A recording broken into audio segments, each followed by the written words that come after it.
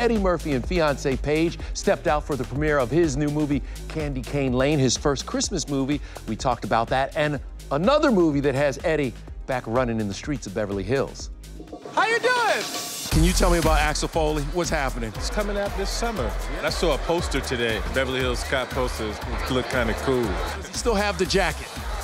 You know, he does have the jacket still. I didn't want to have the jacket. They was like, you gotta have the jacket. I was like, so it's 30 years and he's still wearing the same jacket? The director was like, can you get your hair just like this? Like when I was 22? No. I just want it to be the best Christmas ever.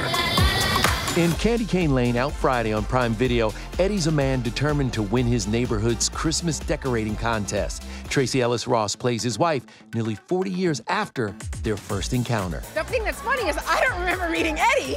I was at a party at her mom's, and she was one of the children running around. Eddie and I were telling all stories from all different parts of our lives. I asked him where the red leather suit was. We all want to know where is it? Where is it? Okay, apparently Damon Wayans wore it to the club and ruined it.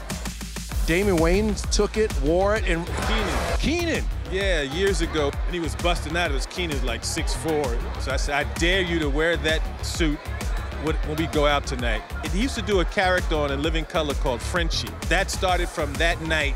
Yeah, mon souffle, mon vedette.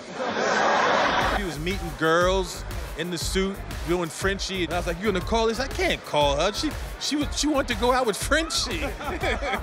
As for the woman who stole Eddie's heart and is mom to two of his 10 kids, look at the real star of the red carpet. she is fine. Do you have any advice for Nick Cannon? Because it seems like he's trying to outdo you. Now, How many kids does he have? He's got 12 now. Lord have mercy. I don't. You don't need no advice.